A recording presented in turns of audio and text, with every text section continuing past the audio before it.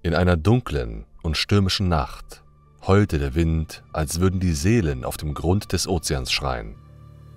Im Jahr 1641 segelte der furchtlose Kapitän Henrik van der Deken in der Nähe des Kaps der Guten Hoffnung im südlichsten Teil Afrikas. Sein Schiff wurde als Fliegender Holländer bekannt und berühmt. Die Flying Dutchman war als das größte und schnellste Handelsschiff der niederländischen Ostindien-Kompanie bekannt. Ihr Kapitän van der Deken war ein entschlossener Mann, der davon besessen war, das Kap in einem einzigen Versuch zu umrunden, egal wie. Die Flying Dutchman war mit vielen Gewürzen aus Jakarta zurückgekehrt. In dieser unheilvollen Nacht durchschlug ein Blitz die Dunkelheit und es regnete unaufhörlich, als ob eine zweite Flut bevorstünde. Das Meer tobte und seine riesigen Wellen drohten das Schiff und alle darauf befindlichen Personen zu verschlingen. Von Minute zu Minute wurde der Sturm schlimmer und die verängstigten Seeleute baten den Kapitän, in einem Hafen Schutz zu suchen, bis der Sturm vorüber war. Doch Van der Deken hörte nicht auf sie. Von seiner Besessenheit geblendet, ergriff er das Ruder des Schiffs und schrie trotzig in den Himmel, ich werde mich diesem Sturm stellen, selbst wenn ich bis zum jüngsten Tag weitersegeln muss. Er wusste nicht, dass der Schöpfer selbst seine trotzigen Worte hören würde und einen Engel schickte, um sich zu rächen.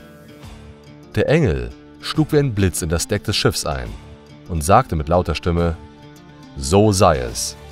Du wirst bis ans Ende der Zeit über die Meere segeln und verflucht sein, niemals einen Hafen oder Frieden zu finden.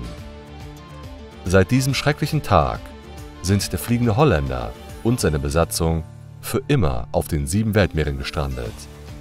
Als furchterregendes Geisterschiff.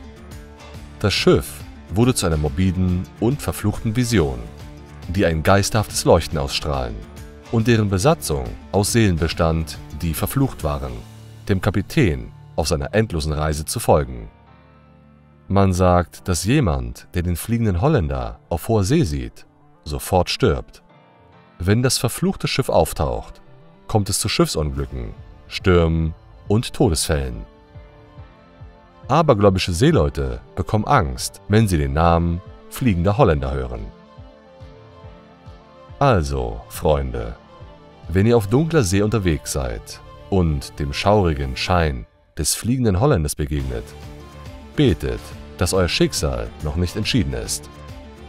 Das Auffinden des Schiffes ist ein Zeichen von Unglück und die Legende des fliegenden Holländers ist eine düstere Erinnerung daran, dass man gegen die Natur und das Schicksal nicht ankommen kann.